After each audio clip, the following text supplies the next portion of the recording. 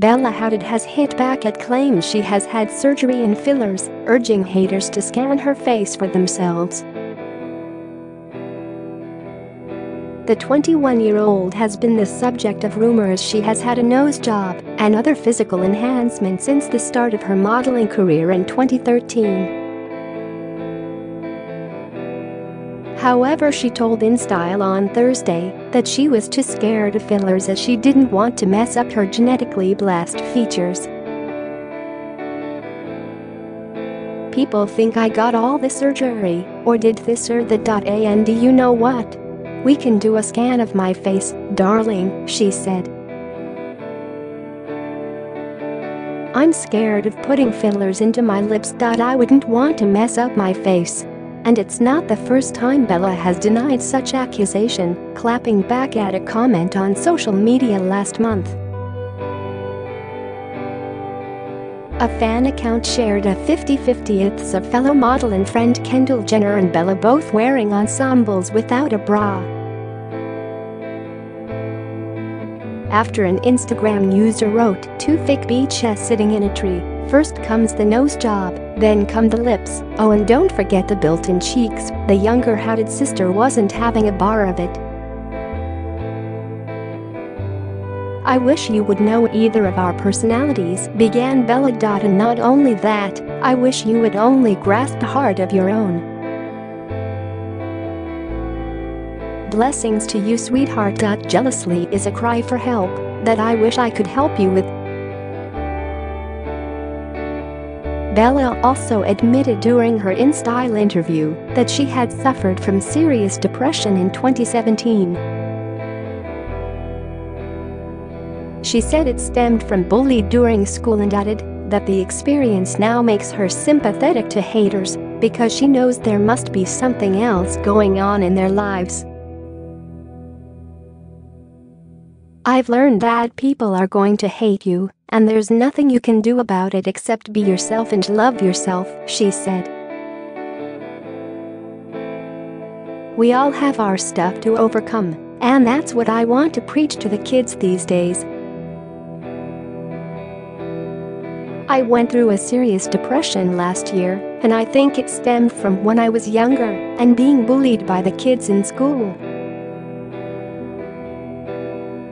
Speaking about her adolescent years, Bella also admitted said she was always self-conscious of her big hips and was jealous of elder sister Gigi's athletic build. I had a small waist and big hips and was kind of chubby, she confessed. I love them now, but I was always self-conscious of my hips, whereas my sister had a six-pack and was very athletic. And I thought I had a weird face. I remember very distinctively getting bullied because of my features. Bella, the daughter of real estate developer Mohammed Hadid and model Yolanda Hadid, is now one of the world's most in-demand models and has walked the catwalk for Chanel, Oscar de la Renta, Laban and more. An insider made accusations to Star magazine in 2016 that Bella had gone to town with her dad's credit card to get her famous features.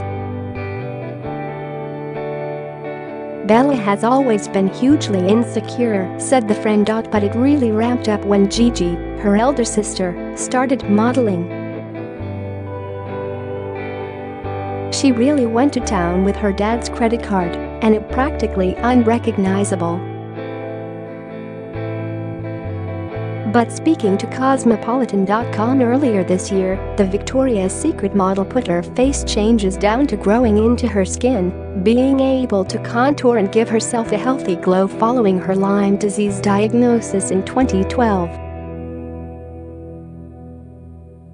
I was also kind of chubbier growing up until I was 15, so there were a lot of things I had to grow into I definitely had to grow into my face a lot. I wasn't very secure with myself until recently. I don't contour every day, but it's life-changing for sure. I mean contouring your nose and jawline. Woo, she said. Bella began dating The Weeknd in mid-2015, but they broke up in January of 2017, and she was rumored to have moved on to Drake. Then in January, the leggy model was reported to be dating basketball player Jordan Clarkson. Bella and the rapper, real name Abel Tesfaye, reunion rumors began after the couple were reportedly seen kissing during April's Coachella Music Festival. In May, Bella and The Weeknd were once again seen kissing in front of guests at the Magnum X Alexander Wang VIP party at France's Cannes Film Festival.